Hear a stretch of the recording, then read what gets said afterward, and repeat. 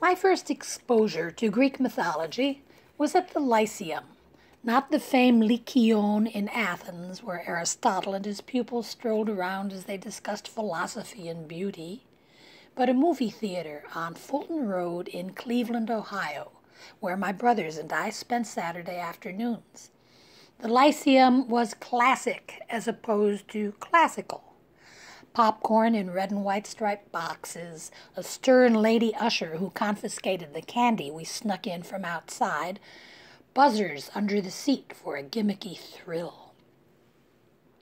Every week, the Lyceum showed a double feature, usually a horror movie, The Mummy, Godzilla, The Creature from the Black Lagoon, paired with something mildly pornographic and highly educational. At one Saturday matinee, I laid eyes for the first time on the Cyclops. The movie was Ulysses, starring Kirk Douglas as the man of many turnings. In a way, it too was a horror movie, full of monsters and apparitions, a witch who turned men into pigs, sea serpents, Anthony Quinn in a short, tight skirt. Ulysses is the Latinate name for Odysseus, and the one preferred by Hollywood and James Joyce.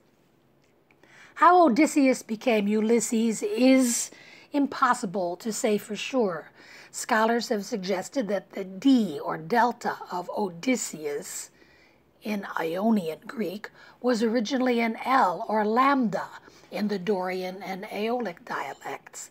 Delta and lambda are similar in form, a wedge with or without a bar, but to my knowledge, no one has suggested that Odysseus was the ancient equivalent of a typo for Ulysses.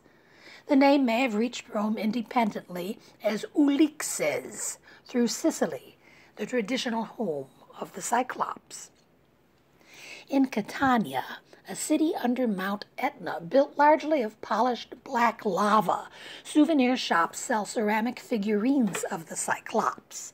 The Cyclopes, that's the plural, were a race of giants similar to the Titans, clumsy prototypes for human beings. Polyphemus worked on Mount Etna, forging lightning bolts for Zeus.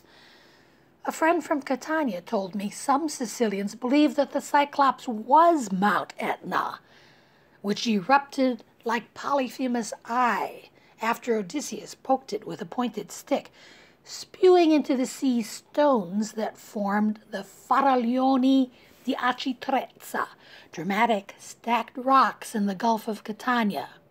At any rate, one can imagine the story of the Cyclops going out into the world ahead of the epic poem, the way the Cyclops episode in the movie of the Lyceum preceded my knowledge of Homer.